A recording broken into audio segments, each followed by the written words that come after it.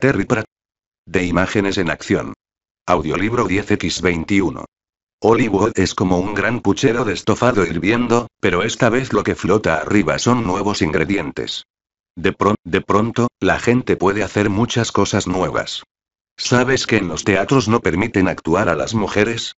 Pero en Hollywood, sí. Y en Hollywood hay empleos para los trolls que no consisten en golpear a la gente.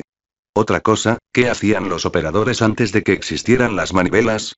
Hizo un vago gesto en dirección al brillo lejano de Angmorpork. Ahora están buscando alguna manera de añadir sonido a las imágenes en acción, siguió. Seguro que en el mundo habrá gente con un talento increíble para, para, para hacer sonidos.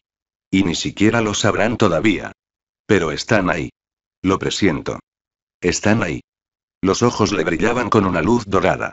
Víctor pensó que quizá fuera solo el sol poniente, pero algo le decía que había más, porque, en Hollywood, cientos de personas están descubriendo qué es lo que siempre han querido ser, dijo Ginger.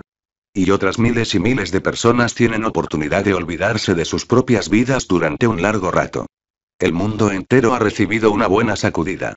Eso es, asintió Víctor. Eso es precisamente lo que me preocupa. Tengo la sensación de que nos están haciendo encajar como piezas de un rompecabezas. Pensamos que utilizamos Hollywood, pero en realidad es Hollywood el que nos usa a nosotros. A todos nosotros. ¿Cómo? ¿Por qué? No lo sé, pero, fíjate en los magos, por ejemplo, siguió Ginger, vibrando de indignación. ¿Alguna vez han hecho algo bueno para todo el mundo con su magia? ¿Sirve para algo? Creo que es lo que mantiene la cohesión del mundo, empezó Víctor. Vale, se les da muy bien hacer llamas mágicas y todo eso, pero, en cuanto a utilidad, ¿pueden crear siquiera una hogaza de pan? Ginger no estaba de humor como para prestar atención a nadie.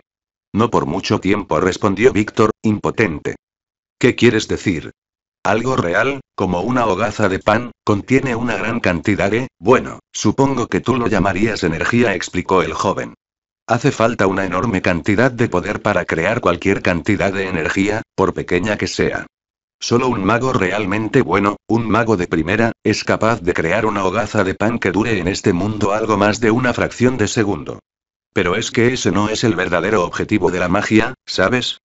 Añadió rápidamente. Porque este mundo es, ¿qué más da eso?